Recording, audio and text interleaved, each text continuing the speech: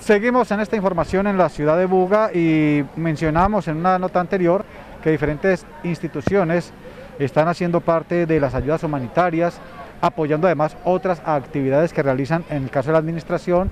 eh, y es el batallón Palacé, unidades eh, militares que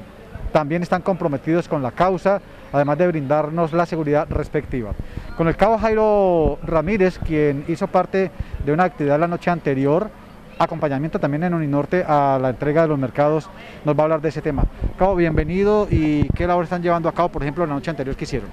Bueno, buenos días. Eh, el día de anoche eh, fue una de las tantas actividades que hemos estado realizando en estos, en estos días. Eh, en los habitantes de calle acá en la ciudad de Buga, ahí en Batallón de Artillería número 3, hicimos la entrega de 200 eh, refrigerios, eh, habían venezolanos, eh, mucha gente que con muchas necesidades ahorita en el aislamiento del COVID-19,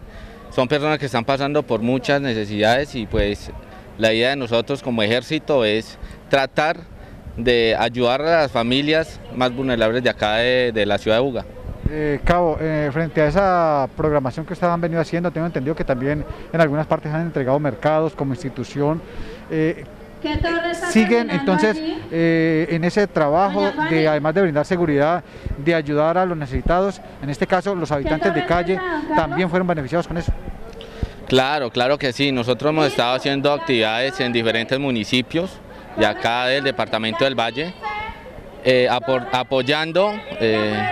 con, la causa eh, a las alcaldías que muchos, muchos de, estos,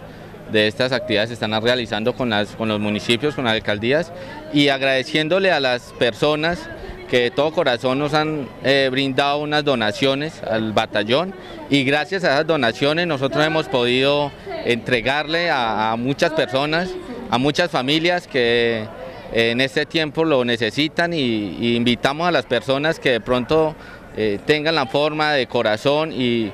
puedan colaborar con donaciones, nosotros lo estamos entregando, vamos hasta su casa,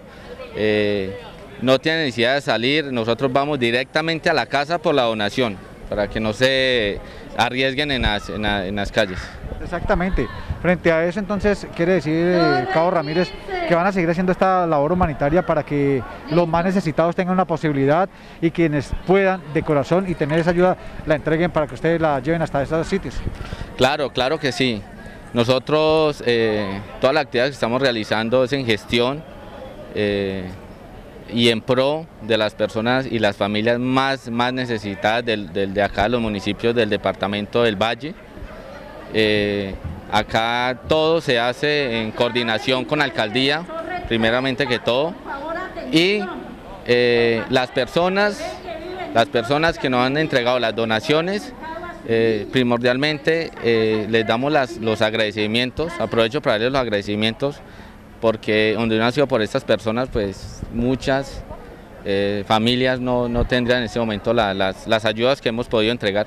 Muy amable, Cabo, y pues felicitarlos por esa labor que están haciendo ustedes para las eh, personas más vulnerables y que en la medida de lo posible pues se siga realizando esta actividad.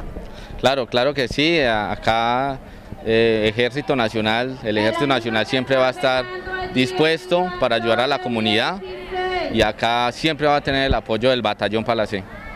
El eh, cabo Jairo Ramírez de la Unidad Militar Batallón Palacé de Buga nos habló pues de esas gestiones que han venido realizando para beneficiar a las eh, personas en condición de calle y a la población más vulnerable con los mercados que ellos están recogiendo y entregándole a estas familias. Información que seguimos generando en la ciudad señora en este especial con producción de Gil Televisión.